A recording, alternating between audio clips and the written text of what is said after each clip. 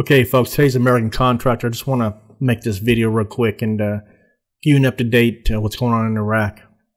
This is a map of Iraq, and everybody knows on the 10th of June, which was Tuesday, the ISISS, ISIS, with 800 fighters, went into Mosul early Tuesday morning and uh, fought off 30,000 Iraqi army soldiers. It was two divisions, 20 battalions they should just drop their weapons and left.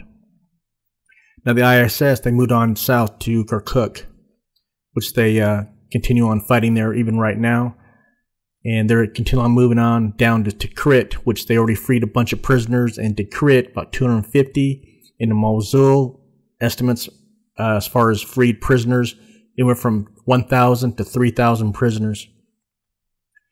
Now, Samarra, they did some fighting down there. Uh, they're in full control of Samarra.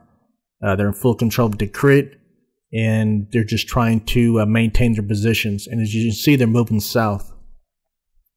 They already have a strong foothold in Ramadi and in Fallujah.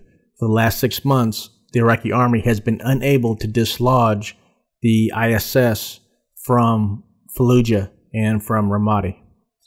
So if they think they're going to take back Mosul, with uh, 1.5 million, 6 million people, it's going to be a harder task, folks. And the distance from central Baghdad is going to be even more a problem for as far as logistics and resupplies and things of that nature. Now, the oil deposits. Just want to show you exactly where the KRG's oil deposits. It's in that area right there. And like I said, they're marching towards Baghdad and they're about 40 kilometers from the city limits of Baghdad, so they're really close. Baiji is the largest oil refinery in Iraq.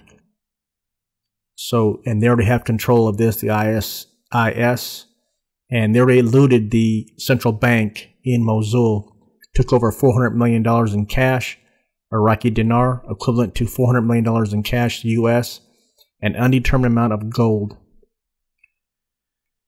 Now, PM, PM Nouri Maliki, everybody knows that he's the prime minister, has been for the last eight years, and he's not doing a very good job, but uh, I think he realizes that now, and uh, it's just a matter of days. Either he's better step up to the plate, as the United States has told him just recently, or he needs to step down.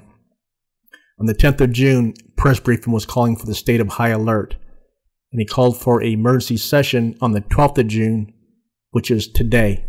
Now, the emergency session meeting with the Iraqi parliament did not go through. All the other parliament members uh, made it that decided to go arrived, but they had some boycotts between the uh, Kurdish and the Sunni uh, MP political blocks. Now, I want you to point. I want to point something. Else, it took them two days to do this emergency session. So you know you know it's not going to go well. All right. The uh, uh, Maliki's opposition, as I said in a previous podcast, that Maliki's opposition is not willing to grant Maliki broader broader uh, powers, emergency powers, to uh, to fight this uh, threat that the government's fallen under. He's already terminated the Iraqi army general that was involved in Mosul. He's also in negotiations with the KRG to help fight the ISS. I don't know how that go- negotiations are going well, but um, even in Kirkuk right now, the ISS have uh, started um, moving into Kirkuk. I don't know how much control they have in Kirkuk, but the Iraqi army that was in Kirkuk have left their positions, and now the Peshmerga, the Pesh, have taken up those positions, and hopefully will maintain those positions, protect the uh, fuel that's the fuel stocks that are there, the ammunition, all the military hardware that's there. They have a military base there.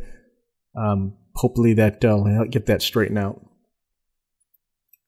Also, uh, 10th of June, curfews were in Baghdad and the surrounding areas. There was a curfew in Kirkuk. I don't know if that's been lifted. I don't know if it, any of the curfews have been lifted. So someone's going to have to say in Priyam Maliki, the United States is not going to send in troops. The UK is not going to send in troops. Australians are not going to send send in troops. The Canadians are not going to send in troops. So someone is going to have to um, help uh, PM Malky fix this problem. Here's a Mail Online article. U.S. has no plans to send any of its 35,000 Middle East based troops into Iraq. And when it's this is all about Iraq, folks. This is Iraq government's problem, and they're gonna have to deal with it.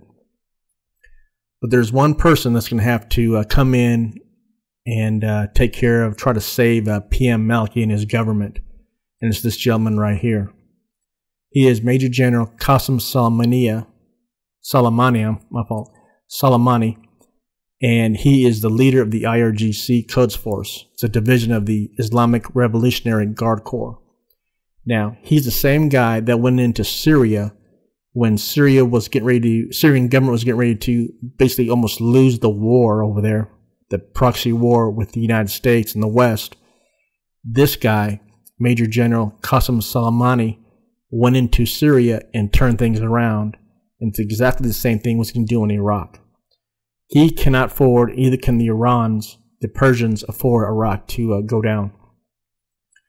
So this guy's already sending the special forces, Iran special forces rush in to help, you know, a floundering ally.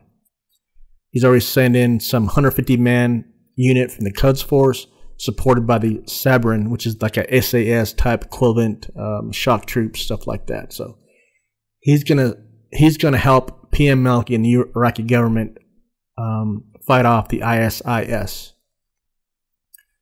Hope you like this this video. Give some different perspective, different information. If you uh, have a different perspective, have any thoughts on this, you can contact me directly at ac at americancontractor.com.